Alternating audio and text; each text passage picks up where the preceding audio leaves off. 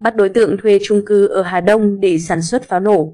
Quá trình kiểm tra tạm trú và tuyên truyền, hướng dẫn người dân kích hoạt Vinit ở trung cư CT6A Kiến Hưng. Công an quận Hà Đông đã phát hiện đối tượng có hành vi sản xuất pháo hoa nổ. Ngày 7 tháng 5, Công an quận Hà Đông cho biết vừa bắt giữ đối tượng Lê Tuấn Cường, sinh năm 1995, hộ khẩu thường trú tại Tiên Sơn, huyện Duy Tiên, Hà Nam, về hành vi sản xuất pháo hoa nổ.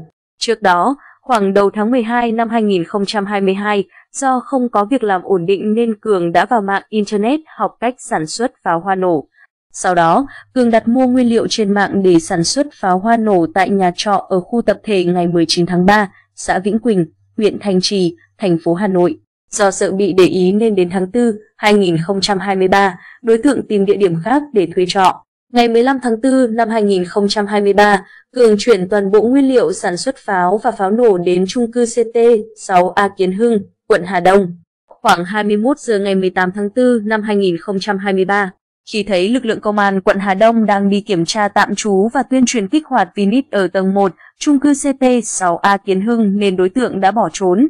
Tiến hành kiểm tra hành chính nơi Cường thuê trọ ở phòng 220 CT 6A Kiến Hưng, Công an quận Hà Đông phát hiện và thu giữ 34 quả pháo hoa nổ với tổng khối lượng 12,9 kg và toàn bộ nguyên liệu sản xuất pháo hoa nổ.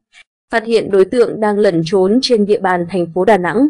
Đến ngày 7 tháng 5 năm 2023, Công an quận Hà Đông, thành phố Hà Nội phối hợp Công an quận Sơn Trà, thành phố Đà Nẵng tiến hành bắt giữ Lê Tuấn Cường. Tại cơ quan công an, đối tượng đã khai nhận toàn bộ hành vi vi phạm của bản thân. Hiện Công an quận Hà Đông đang củng cố hồ sơ, xử lý đối tượng theo quy định của pháp luật.